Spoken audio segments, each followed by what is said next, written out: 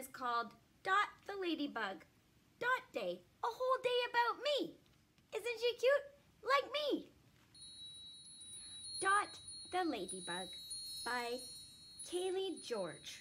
Pictures by Stephanie Fizer Coleman. Didn't they do a beautiful job? Dot is a ladybug.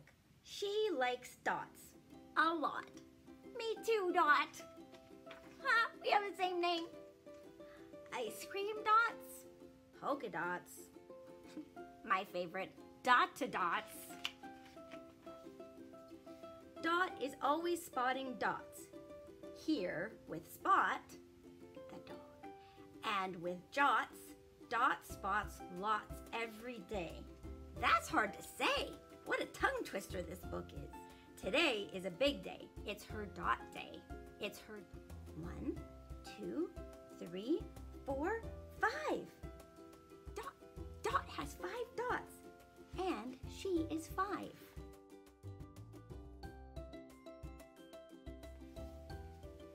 It's time for a party. But where are Dot's friends? Dot can't spot anyone. Not here. Not there. Not anywhere. They forgot about Dot. What's this? A funny dot. A drippy dot. Hmm. It's a mystery. Dot follows the dots. One, two, three, four, five. Dot spots her friends. Hello, Dot. Hello, friends. Dot solved the mystery. Everyone plays stick a dot on the spot. They eat cake with sprinkle spots and Dot gets a gift. A dot spotter, perfect for spotting dots.